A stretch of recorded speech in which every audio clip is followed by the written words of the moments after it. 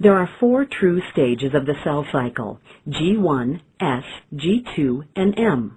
A fifth stage, G0, is where the cell remains indefinitely until it begins the cell cycle again. Some cells may never leave the G0 stage.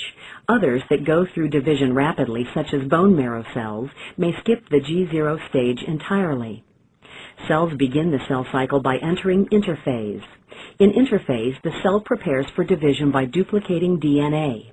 Interphase includes the stages G1, S, and G2. In G1, the cell synthesizes DNA and protein and increases organelle and cytoskeletal elements. The chromatin consists of long, slender rods jumbled together in the nucleus. S is the synthesis stage. Nuclear DNA replicates along its centrioles, which are small structures made up mostly of microtubules that associate with the chromosome's DNA. The chromatins begin to coil so that they shorten and thicken. In G2, RNA and protein are synthesized. Proofreading also occurs. The DNA replicated in the S phase is checked for mistakes. If mistakes are found, the cell repairs them or receives a signal to self-destruct called apoptosis. The difference between G2 and G1 is that in G1, DNA and protein are made, while in G2, RNA and protein are made. In the M stage, the cell divides into two identical cells through divisions of the nucleus, mitosis, and cytoplasm, cytokinesis.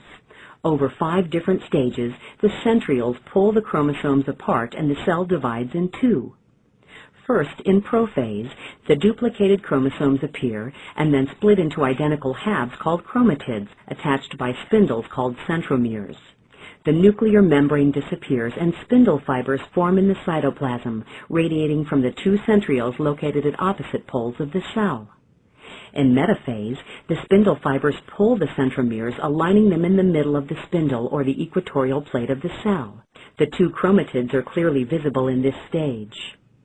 In anaphase, the centromeres split, pulling sister chromatids to opposite sides of the cell.